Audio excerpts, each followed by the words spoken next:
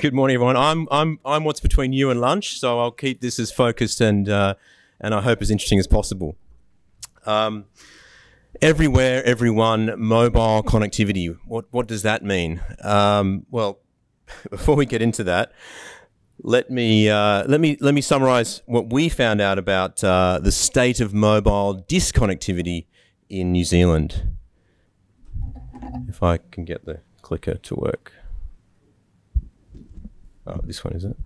Okay, so we commissioned a survey of uh, 500 farmers, boaties, and hunter hikers in New Zealand, and these are some of the highlights from the report that, that came out of that.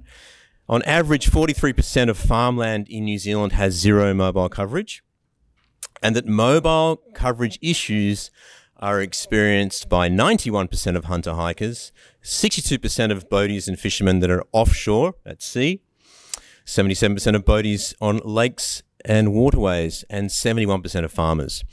And nearly a third of those reported that their safety was compromised in the past due to inconsistent mobile coverage. And we've heard this morning how important safety in farming is. And, uh, and, and Karen and Fiona from the previous panel, I hope what I had to say is, uh, is going to be helpful.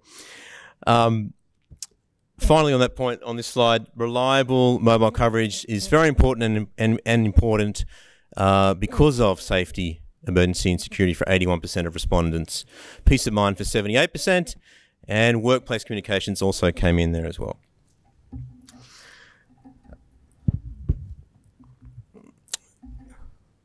So there are many situations or scenarios or activities in this country, uh, amongst many countries, of course, where mobile disconnectivity occurs. And i would actually like to ask the audience in, in the past 12 months, who here in the audience, outside of the cities and suburbs, has had an experience with their mobile phone disconnecting from the network or no no mobile coverage? Could you just raise your hand?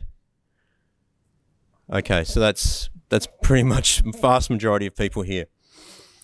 Um, we have heard this morning that uh, that roughly 50% of New Zealand has no mobile coverage. That number will will come down with the, the government programs that are occurring. Um, but it will remain still still significant on a, on a geographic basis. Um, so my proposition is, wouldn't it be great if the phone that you have in your pocket today, that you have in your hand today, if this phone would work everywhere, so literally everywhere. Okay, so let me introduce you the world's first mobile tower in space. And we launched this uh, back in February this year. It was a two week, just over a two week mission. We had test licenses in nine countries, including New Zealand.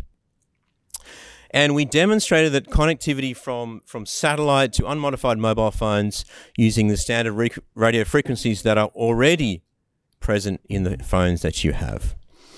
We established that the link margin that we expected on paper, we, we established that within 1 dB. Um, and we have a second launch, which is our Payload 2.0 coming up in, uh, in a matter of a few weeks, launching on SpaceX for another round of further testing and expansion of this technology. Uh, so, what is this going to result in? What is this going to mean for uh, for for you and for for everyone who uses a mobile phone? Um, so today, the picture of satellite communications. to use satellite communications, one needs to buy either a satellite phone or a satellite terminal. I'm talking about portable satellite communications.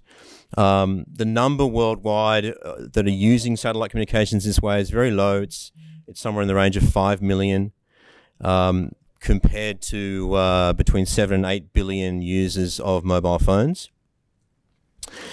And our proposition is that, again, this same phone, unmodified, no change to the hardware, no change to the software, will work beyond the existing terrestrial coverage that you have today uh, that you that you use every day.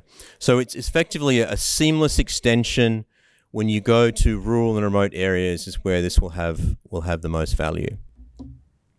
So as you get out of range, you have an opportunity for your phone to take the signal from the satellites that we're going that we're going to build.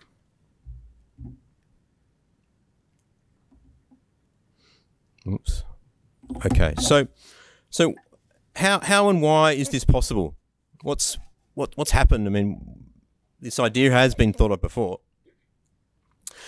As we have heard, uh, it's been touched on this morning as well. The space industry is undergoing a, a, a huge disruption right now, and part of that disruption is to do with the access to space. So it's now becoming much less costly and more frequently to, to reach space with companies like, Rocket Labs in New Zealand and, and SpaceX. The satellites themselves are becoming smaller, they're cheaper to build, they're faster to build. And what we're going to do is we're going to use them to form a constellation, which you can see in the, in the graphic there, to provide 24 by 7 coverage of the globe, excluding the North and South Pole. If anyone's got a business case for the North and South Pole, come and talk to us. We'll also include that as well. This will essentially mean connectivity everywhere. Everywhere where your phone can see the sky.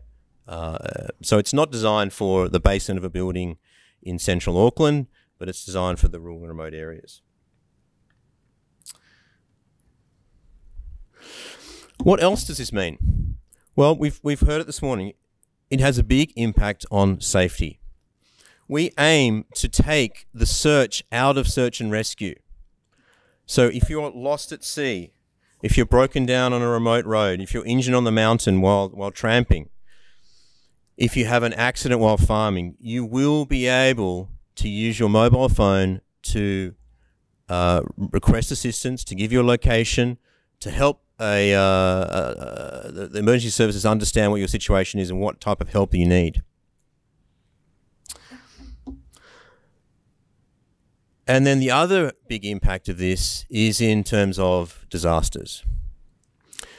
So, when a disaster happens, one thing that often occurs is that the mobile network infrastructure is damaged or even sometimes wiped out.